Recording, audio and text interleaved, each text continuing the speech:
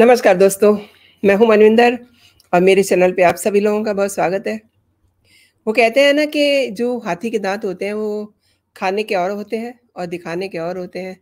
तो आम आदमी पार्टी में जो कुछ दिखाने की चीज़ें हैं वो अलग है, जो वो करते हैं वो अलग है। कमाल की बात है।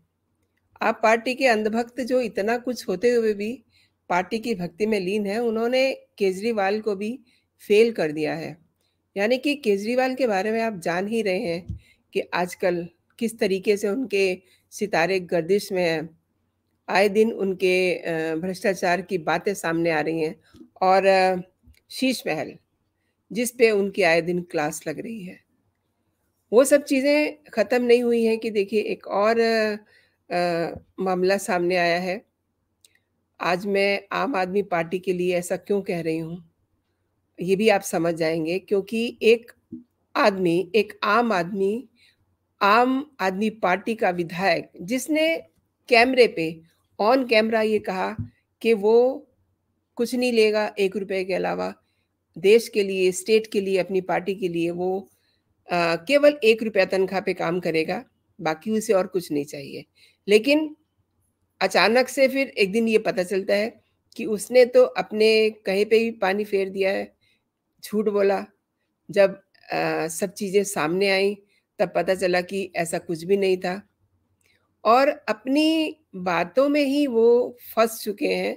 पंजाब के नाभा से आम आदमी पार्टी के विधायक गुरदेव सिंह मान अपने ही दावे में इस समय घिर गए हैं। गुरदेव सिंह मान ने ये दावा किया था कि वो अपनी पार्टी से सरकार से किसी भी प्रकार की कोई सुविधा नहीं लेंगे। अपना पच्चीस हज़ार रुपया जो उनको वेतन मिलने वाला है, वो भी वो नहीं लेंगे। उन्होंने ऑन कैमरा ये कहा था कि वो एक रुपया तनख्वाह पे काम करेंगे, लेकिन सब कुछ इसके उलट कर दिया। आरटीआई एक्टिविस्ट मानिक गोयल ने जब आरटीआई डाली तो उसमें ये पता चला कि हर महीने के हिसाब से तेरह महीने में वेतन, भत्ते और जितनी भी सरकारी सुविधाएँ हैं, उसमें वो लाखों रुपए ले चुके हैं।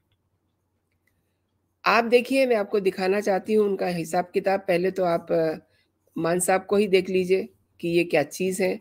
देखिए, ये साइकिल पे चल रहे हैं और इनका ये कहना है कि उन्हें ये शौक है कि वो साइकिल पे ही चलेंगे और ये इनके हिसाब किताब की एक लिस्ट है जो आरटीआई एक्टिविस्ट ने निकाली है।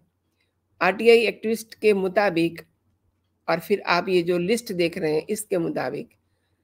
विधायक देवमान हर महीने पच्चीस हज़ार रुपये वेतन समेत सीए सीएसपीए ऑफ़िस के जो खर्चे होते हैं वो, जिसमें वाटर और इलेक्ट्रिसिटी और टेलीफोन बिल अलाउंसेस समेत कुल चौरासी हज़ार रुपये ले रहे हैं। और तेरह महीने में चौरासी हज़ार के हिसाब से देवमान साहब जो है करीब करीब दस लाख और बयानवे हज़ार रुपए ले चुके हैं। अब अगर उन्हें ये सब लेना ही था तो उनसे किसने कहा था कि वो झूठ बोलें या कि मतलब वो ऐसी बात करें? उन्हें ज़रूरत ही नहीं थी। ऐसा अगर वो ना भी कहते तो उनकी विधायकी कहीं जाने वाली थोड़े ना थी। विधायक देवमान ने ऑन कैमरा ये कहा था कि आप सरकार के दौरान कार्यकाल के दौरान वो केवल एक रुपया तनख्वाह पर अपनी सेवाएँ देंगे। ये उन्होंने दावा किया था। और ये मैं आपको बता दूँ कि इस समय उनका जो ऑन रिकॉर्ड ऑन कैमरा उन्होंने कहा था, ये सब इस समय ट्रेंड हो रहा है सोशल मीडिया पे। और जब उनसे ये पूछा गया था कि आप अपना खर्चा कैसे चलाएँगे, क्योंकि ये उन्होंने कह तो दिया, लेकिन जब उनसे ये पूछा गया कि आप बिना सैलरी के अपना घर कैसे चलाएँगे, घर चलाने के लिए पैसा चाहिए होता है तो उन्होंने ये कहा कि उनकी पत्नी कैनेडियन पीआर है। इतना बंदोबस्त है कि वो अपना खर्चा निकाल लेंगे। और मानसाग ने, मान ने ये दावा भी किया था कि उनके पास कनाडा की पीआर है, उनकी पत्नी भी कनेडियन है। ऐसे में उनको खर्चे की कोई दिक्कत नहीं होगी। और उन्होंने ये भी कहा था ऑन कैमरा कि वो पहले भी बिना वेतन के काम करते रहे हैं तो आगे भी करते रहेंगे। अक्सर साइकिल पे ही वो अपने हल्के में घूमते हैं और साइकिलिंग करना उनका शौक है, उनका ये भी कहना है, उनका कहना क्या है? ऑब्वियसली ये पता ही है कि गाड़ी पे अगर जाएँगे तो आप पोल्यूशन फैलाएँगे। तो वो ये कहते हैं कि वातावरण अच्छा रहता है, सरकार द्वारा मुझे गाड़ी दी गई है, लेकिन मैं गाड़ी में नहीं चलता। और इन विधायक साहब ने ये भी कहा था कि दफ्तरों में चेकिंग की गई, उनका स्टाफ काफ़ी हद तक पूरा पाया गया और कुछ कमियाँ हैं जिसे स्टाफ को पूरा करने के लिए कहा गया है। लेकिन अब मैं आपको बता दूँ कि इनको लेकर के सोशल मीडिया पे एक लड़ाई सी चल पड़ी है, जैसा कि मानिक गोयल ने ट्वीट किया है कि ये बड़ा फर्जी है और इन्होंने सब कुछ गलत कहा कि वो एक रुपए की सैलरी पे काम करेंगे। इस समय वो सारे अलाउंसेज ले रहे हैं। साथ में इन्होंने उसकी कॉपी भी लगाई है, जहाँ पे इनके अलाउंसेस देखे जा सकते हैं। और आप देखिए ना, आज के समय में टेलीफोन अलाउंसेस पंद्रह हज़ार रुपये प्रति महीना जनता के टैक्स पर सुविधाओं का मज़ा लिया जा रहा है। जितना इन्हें टेलीफोन अलाउंस मिलता है यार, उतने में तो किसी गरीब का घर चल जाता है बड़े आराम से और इन्होंने लूट मचाई हुई है। देश में और ना कोई रोकने वाला है, इन्हें ना कोई बोलने वाला है। आम जनता की कौन सुनेगा? और तमाम सारे ट्वीट इस समय चल रहे हैं।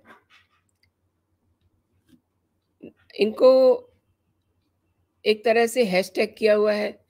और लो, लोग इन्हें ये कह रहे हैं कि जिन्होंने ये कहा था कि वो साइकिल पे ही आया जाया करेंगे सिर्फ़ एक रुपया तनख्वाह लेंगे। आरटीआई खुलासे में ये पता चला है कि उन्होंने साल में दस लाख सैलरी और तीन लाख डीजल अलाउंस लिया है। और इन्होंने केजरीवाल को भी पीछे छोड़ दिया है। ये नाभा से विधायक का हाल है। ये ऐसा अपने ट्विटर हैंडल से विवेक शर्मा ने पोस्ट किया है। अच्छा वैसे इन्हें झूठ बोलने की ज़रूरत क्या थी? इनसे किसने कहा था? किसी ने पूछा था कि आप अपने जो आपका वेतन है, आप लेंगे या नहीं लेंगे?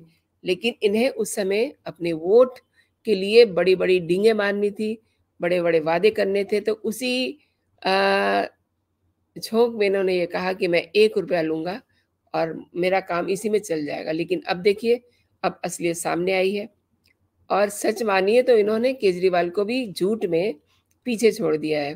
केजरीवाल इस समय आपका ये आबकारी नीति में फंसे हुए हैं।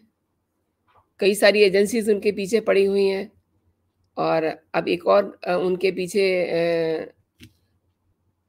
उन पे ये आरोप लगाया जा रहा है कि उन्होंने आउट ऑफ़ द वे आकर के मौर्य साहब का ट्रांसफ़र किया है। जैसे ही सुप्रीम कोर्ट ने उन्हें एक हरी झंडी दी कि आप ही बॉस हैं। तो उन्होंने उस बॉस की परिभाषा को समझे बिना ट्रांसफ़र पोस्टिंग शुरू कर दी है। उन्होंने एक आध ट्रांसफ़र पोस्टिंग नहीं किया है। उन्होंने करीब करीब 99 पोस्टिंग किए हैं। 99 तबादले किए हैं। तो अब इस पे बात तो होनी ही थी। आए दिन उनको भी बहुत अच्छा लगता है कि वो चर्चाओं में रहें। भले ही वो उनके बुरे कामों के लिए चर्चा हो, लेकिन उन्हें अच्छा लगता है कि उनकी चर्चा होती रहे। फ़िलहाल दोस्तों, आज के लिए इतना ही। ये वीडियो आप देख रहे हैं, वीडियो देखने के लिए आपका बहुत बहुत शुक्रिया। और अगर ये वीडियो आपको पसंद आई है तो आप इसे लाइक कीजिए। पहली बार अगर मेरे चैनल पे आए हैं तो मेरे चैनल को आप सब्सक्राइब भी कर सकते हैं, ताकि जो भी मेरा कंटेंट हो, वो आप तक सबसे पहले पहुँचे। तो खुश रहिए, स्वस्थ रहिए, अपना और अपनों का ख्याल रखिए। जय हिंद, जय भारत।